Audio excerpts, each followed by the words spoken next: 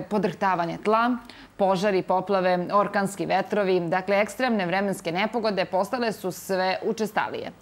Šta je uzrok tome? Da li imamo razloga da se plašimo? Šta nam priroda poručuje? E, to su samo neka od e, pitanja za našeg gosta, profesor doktora Mlađana Ivanovića sa Prirodno-matematičkog fakulteta. Gospodin Ivanović, dobro jutro. Dobro jutro. Hvala što govorite za naš jutarnji program uvek kada su neke naše nedoumice u pitanju, nedoumice koje takođe muče naše e, gledalce, a mi kroz gostovanje i razgovor sa vama pokušamo to da otklonimo. Najava je tako kako je, kako možemo kažemo. U nekom nezvaničnom razgovoru, eto, rekli smo, rekli ste pompezna. Da li ljudi malo prave e, veću pompu od toga nego što je zapravo jeste? Šta kažete vi stručnici kada su ove vremenske nepogode u pitanju? Evo krenite, evo od vas i vašeg programa. Sad dok sam čekao ispred studija, e, ključne reči su infekcija, E, karcinom, komplikacije, dobro, problemi. Dobro, to je tako bilo, to je zdravstvena tema, šta da radimo, to je Pa tako. dobro, ćemo onda i u prirodi tako. Pa evo, dakle, mene možda neće, je priroda nešto. Dešava se i u prirodi svašta nešto, je. Pa da, ali, ali sve je to prirodno, znate. I onda tako treba i, i posmatrati. Kako? Evo, tako da od recite. mene nemojte očekivati tako ovaj, crne vesti. Znači, ja ću malo vedrije. Evo, Ipak da, je jutro, znate, nekako računam da čovjeka se probuje i treba neke, o nekim vedrim temama da sluša. Evo da bi bio lepši pa, dan. Vidite, nije nam ve, ovaj, lepo i vedro bilo kad su, recimo, kad je Novi Sad zahvatilo ova luja iz, iz dva puta u, u roku od koliko mesec, dve, dve nedelje nismo se baš prijatno osjećali. To je mnoge zabrinulo, a i ono što smo videli, nije, nije nam posle toga bilo... Da, da bila ovaj... to jedna sjajna oluja. Ovaj, to je bio jedan fantastičan način na koji je priroda pokazala svoju ovaj, snagu. Čisto se podsjetimo ovaj, gde živimo. Da, napravilo je puno problema, znate, ali to je priroda. Evo, malo pre smo pričali u ovom uvodu o, o situaciji na Islandu. Znate, ništa normalnije ovaj, nego da na Islandu bude potresa i da bude vulkanskih erupcija. Čitav Island je napravljen isključivo od izliva lave. Dakle, nema komada zemlje koja nije posledica izlivanja lave. I za njih je to potpuno normalno. E sad, to se može malo prikazati ovaj, dramatično ili ne, ali to su sasvim ovaj, normalne stvari. Dramatično ili realno? Evo kada vidimo, evo, sad da, se, da, da ostavimo uh -huh. samo mhm. za početak taj uh mhm. -huh. Island sa strane. Evo kada uh -huh. pogledamo Novi Sad i sve ono što je bilo u prethodnom periodu, Ako mi e, pričamo ovako ovim tonom, jer to sad dramatizujemo previše ili samo prikazujemo ono što je to nevreme prikazalo u te dve nedelje, pa, u ta dva puta. Zapravo. Pa znate, e, dramatizovati situaciju na Islandu je kao kad bismo mi s jeseni dramatizovali to što će uskoro početi zima A ne, evo Novi Sad i te vremenske, vremenske pa, ne, pa, pa evo kažem, dakle, kao kad bismo u septembru razmišljali, dramatizovali o tome kako će uskoro zima, kako će temperatura u minus, kako će padati sneg.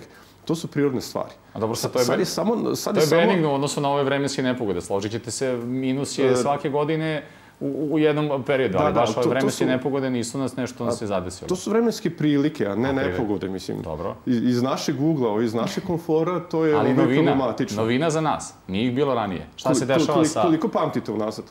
Pa, 25 godina.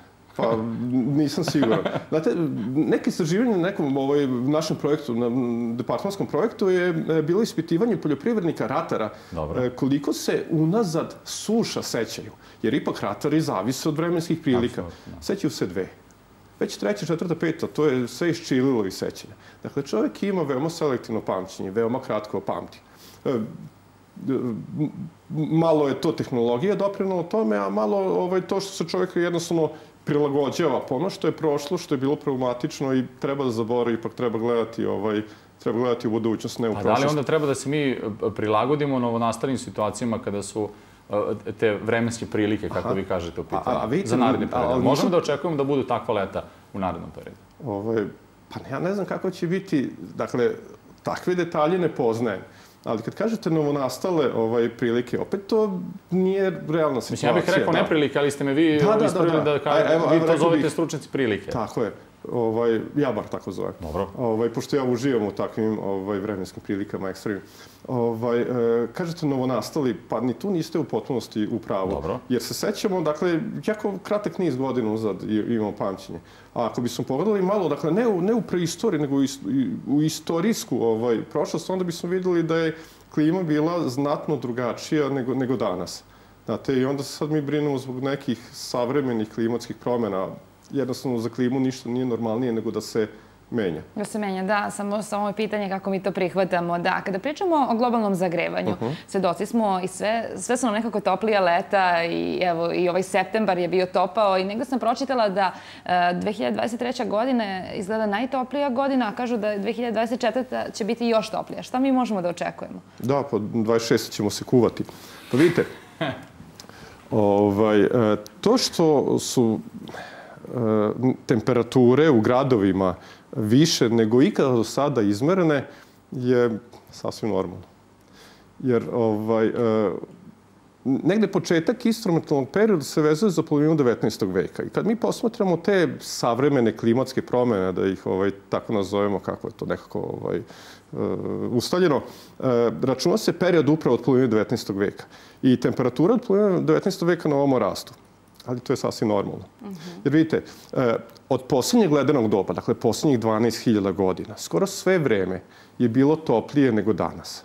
Evo mi da se zapitamo, a šta je to normalna temperatura na planeti? Šta je to normalna temperatura u Novom Sadu?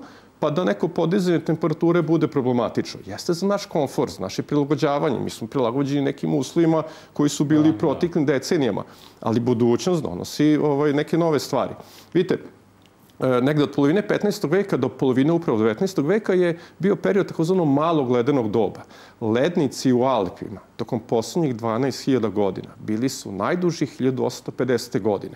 1850. godina lednici su dolazi do oboda sela u Švajcarskoj. Mislim, gledao sam fotografije, recimo iz 1900. godine lednik dolazi do oboda sela koje se, eto, slučajno zove Gleče.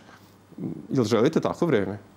Mislim, šta je bolje, da bude toplo ili, ili hladno? Da, sad ste spomenuli ledeno doba. Najveći ledeni breg na svetu se pokrenuo, da, i to, to smo informaciju videli, kažu dvostruko veće od Londona, 400, čini mi se, visina, da, oko 400 metara.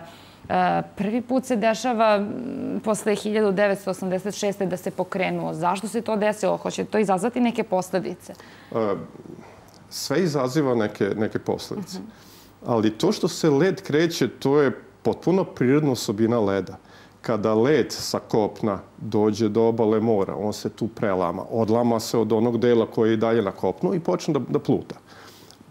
Evo jedna ilustracija. 1565. E, godine, kad to je istorijsko vreme, blisko, e, uz obalu Rotterdama se nasukala jedna santa leda. Želite takvo vreme? Mislim, Da. Možemo, ako malo sačekamo, verovatno će opet doći neko ovaj, tak, takvo zahlađenje. Dakle, to što se odlomio led, to je sasvim normalna situacija toga da se led kreće. Ali vidite, e, čak i to izaziva dobre posledice. Što je manje kopna pokriveno ledom, to je više stena ogoljeno, izloženo hemijskoj eroziji. To se više ugljen dioksid iz atmosfere vezuje, spušta u okeane gde se opet vezuje u one planktonske organizme koje od, od tog ugljen dioksida iz atmosfere prave svoje karbonatske ljušturice i to pada na, na dno. I tako se vezuje ugljen dioksid. Tako priroda smanjuje, dakle, prirodno smanjuje koncentraciju ugljen dioksida ovaj, u atmosferi. Tako da s, s, postoji uvek neka, neka povratna veza. Mi često posmatramo samo tu jednu, odlomio se breg. Pa da, dobro. najveći ledeni breg. Odlično, tako i treba, ali ako pogledamo malo u prošlost, vidjet ćemo da je to mala maca, odnosno to šta se događa. Dakle, šta treba da radimo? Da se prilagodimo prirodi, da shvatimo da se priroda menja, Da ne da paničimo. Da priroda se stalno menja. Da. Dakle, e, prirodu, evo, pričali smo koliko poznajemo prirodu. Pa priroda dozvoljava samo semenke ovaj, da, da upoznamo, ne i čitav plod, a kamoli čitavo drvo. I zato treba i mi dalje da se ovaj, bavimo prirodom i da proučujemo prirodu. Ali kada da proučujemo da prirodu, kada proučujemo prirodu, ne smemo imati vremenski ograničeni jedan ovaj opseg. Treba se malo pomeriti korak unazad pa vidjeti kako se, evo ako govorimo o klimi, kako se klima menjala u posljednjih ne 150 godina, što ja sad jako lepo ovaj, odgovara ovoj priči, nego posljednjih 5, 10, 15 hiljada ovaj, godina. Dakle i edukacija. edukacija to najvažnije, to najvažnije. Hvala vam lepo. Hvala vam puno što ste bili naš gost.